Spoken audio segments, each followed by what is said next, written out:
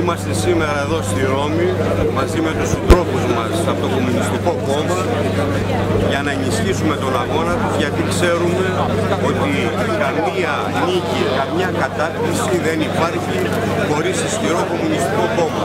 Γι' αυτό ψήφος στις ευρωεκλογές στο Κομμουνιστικό Κόμμα.